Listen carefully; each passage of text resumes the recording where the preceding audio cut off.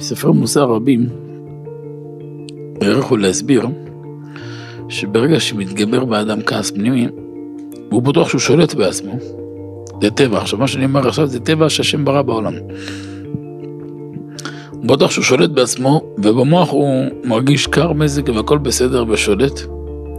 ברגע שהוא יתחיל לדבר, האש תגדל פי אלף במכה אחת, זה כמו לבה.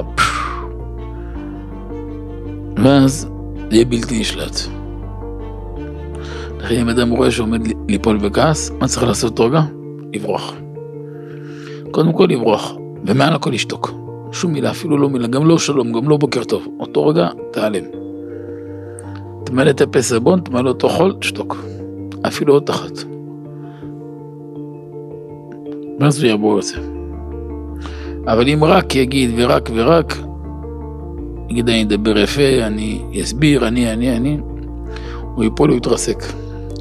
יש כתמים בנפש לפעמים רושמים מכעס, 10, 20, 30 ו-50 שנה אחרי והם עוד לא מתנקים. לא כל כעס אפשר וקל כל כך לנקות.